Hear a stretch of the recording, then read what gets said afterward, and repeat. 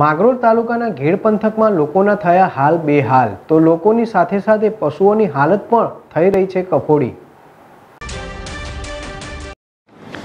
જૂનાગઢ માંગરોળ તાલુકાના ગેડ પંથકના સાંઢાસરમાં, સામરડા, કુલરામાં, લાંગડ, બગસરા ગેડ સહિતના અનેક ગામોમાં વરસાદી તારાજી સર્જાઈ છે અને ગેડ પંથકને તારાજ કરી નાખ્યું છે.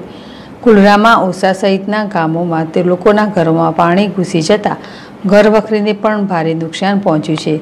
જ્યારે ગેડ પંથક સાત સાત વખત સંપર્ક વિહોણું થયું છે અને હાલ તો ગેડ પંથકના જાહેર માર્ગો ઉપર ચાર ચાર ફૂટ પાણી હોવાથી ગેડના ગામોમાં જવાના રસ્તાઓ બંધ થઈ ચૂક્યા છે.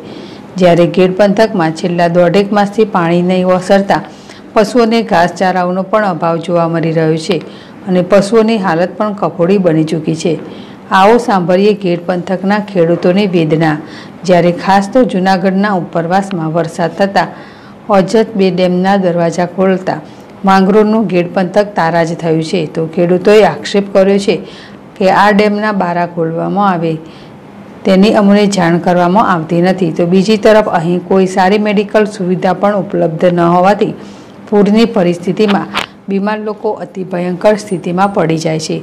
જ્યારે ખેડૂતોને વાત કરવામાં આવે તો સરકારી સહાયથી ખેડૂતો ખુશ નથી, પરંતુ આ પાણી નિકાલની કાયમી વ્યવસ્થા કરવામાં આવે તેવું ખેડૂતો માંગ કરી રહ્યા છે.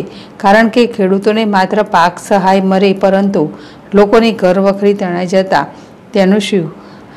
આવા અનેક સવાલો ખેડૂતો કરી રહ્યા છે. જ્યારે ગેડના ખેડૂતોને પડ્યા પર પાટા જેવી પરિસ્થિતિનો ભાથરોડ પાસે આવેલ અમીપુર ડેમની છે.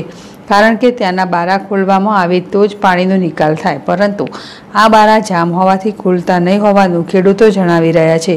તો જો આ બારા ખુલતા ના હોય તો સરકાર આને કેમ મરામત નથી કરાવતી?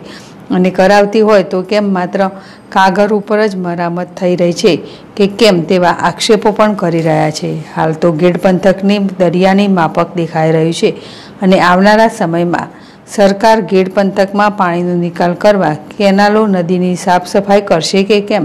ઊંડાઈ વધારશે કે કેમ? તે તો જોવાનું જ રહ્યું. જીતુ પરમાર, જેડેશ ટીવી, માંગરોળ.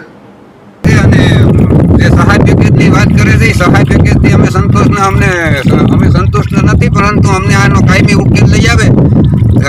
લઈ આવે આ પાણીના નિકાલ માટેનું એ અમારા માટે જરૂરી છે અને જેથી આ વિસ્તારને આનો કાયમી નિકાલ આવી શકે અને કાયમી ખેડૂતોને આ ઝંઝટમાંથી છૂટી શકે એવી અમારી માગણી છે. ગઈકાલે તારીખ ચૌદ નવના રોજે ઓસિતાનું પાણી છોડવામાં આવ્યું. ઓજતમાંથી ઓજિતના દરવાજા ખોલી એને લીધે ઘેડ વિસ્તારમાં જળબંબાકાર થઈ ગયો છે. હાલમાં રસ્તાઓ પણ રસ્તાઓ પણ બંધ છે અને જે પશુઓને અત્યારે ખવડાવવા માટેની એક પશુઓ પણ ખા- હોય એને ખવડાવવા માટેનો ઘાસચારો નથી જેથી પશુઓ પણ અત્યારે ખાવા માટે વલખા મારી રહી જવું હોય તો દર્દીને પણ લઈને કઈ રીતે જવું? એવા રસ્તા પણ અમારા બંધ થઈ જાય. આ કોરોનાના મહામારી છે અટાણે, તો કોઈ પણ કેસ એવો ભયંકર એવો તો અમારે હોય કોઈ સુવિધા નથી. બધા રસ્તા તમામ બંધ. આઠ આઠ દી સુધી બંધ થઈ જાય અમારા રસ્તા. બધા અધિકારીઓને ઉપર સુધી સરકારને ખબર પડે. અમારે પશુપાલન માટે પણ ખાસ કરીને અત્યારે મુશ્કેલ છે, કારણ કે છેલ્લા દોઢ મહિનાથી આને આ પરિસ્થિતિ છે.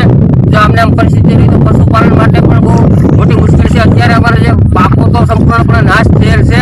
હવે ખાવાનું અમારા માટે તો ખતમ થઈ ગયું છે, પણ પશુપાલન માટે શું થાય